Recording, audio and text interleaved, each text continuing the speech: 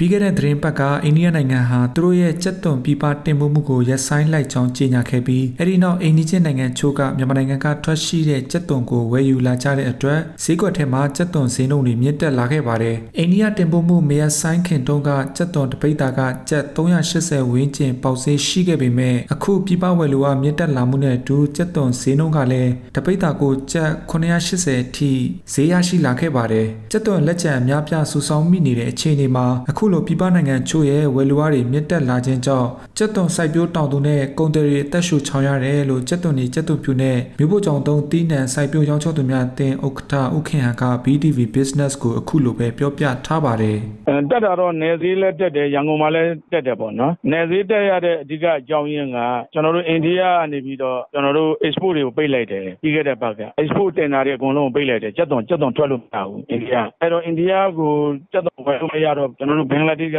ဗမာပြည်မှာလာဝယ်တယ်။လာဝယ်တော့ဗမာပြည်မှာသူတို့ဝယ်တော့တာလေတမောစီလိုက်မှာသွားလို့ဒီ25ရက်နေ့6ရက်နေ့လောက်မှာစတင်မယ်တမောစီလိုက်တင်မယ်တင်မယ်ဆိုတော့အဲ့မှာတင်နေမှာဟိုလူရက်ပြီးဝယ်ကြတဲ့အခါကျတော့တမောစီလိုက်ဆိုတော့ကွန်တိန်နာလုံးရည်ဆိုများသွားမှာ150နေရာလောက်ဖြစ်သွားမှာအဲ့တော့အဲ့လိုမျိုးဝယ်ရင်းနဲ့နေစည်းကဒီနေ့950လောက်ထိဖြစ်သွားတယ်နေမှာရန်ကုန်မှာတော့600ပြီးရင်အပေါ်က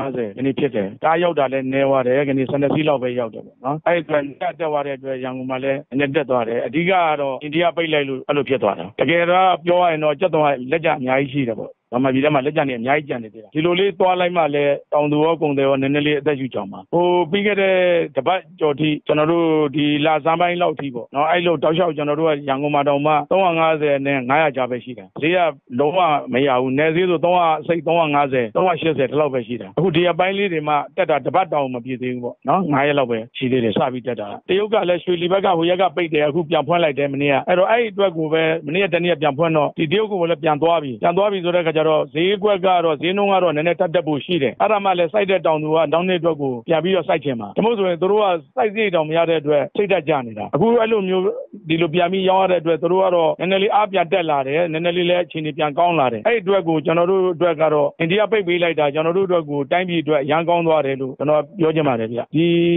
24ရက်နေပြီးတော့နောက်လ9ရက်နေ့ထိပေါ့နော်အဲ့လိုမျိုးကျွန်တော်တို့